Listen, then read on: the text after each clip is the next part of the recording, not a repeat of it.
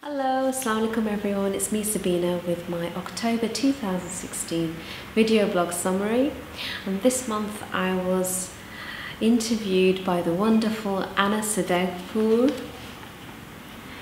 for her blog Anahata Dubai's community service blog.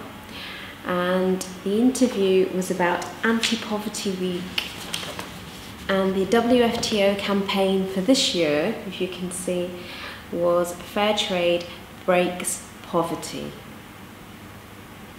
The campaign was in collaboration with the Global Goals for Sustainable Development. Um, so I'm really grateful to Anna for interviewing me uh, for her blog. Many thanks to you, Anna. It's been six months since Mum's passing.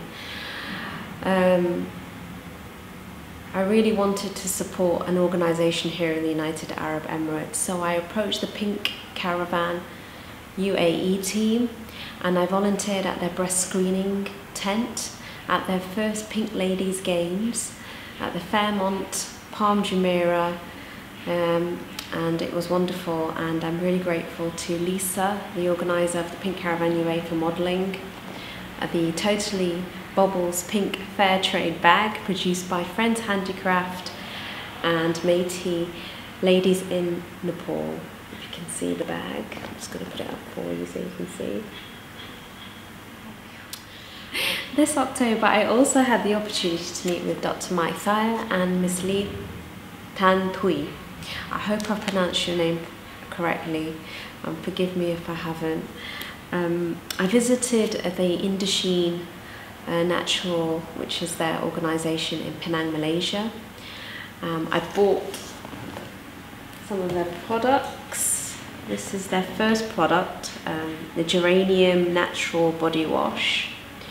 And I've got um, another lavender face wash here. Um, bought some set soaps for my sensitive skin. Bought a honey soap and a no fragrance soap. Just put them up there for you to see. Um, for the past eight years, Dr. Thair has been working with an organisation called the Asian Community Service.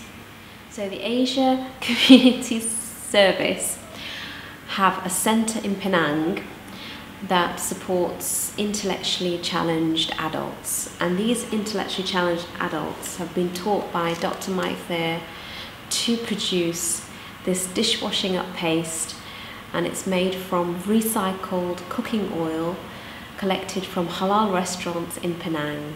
And I brought some back here to Dubai.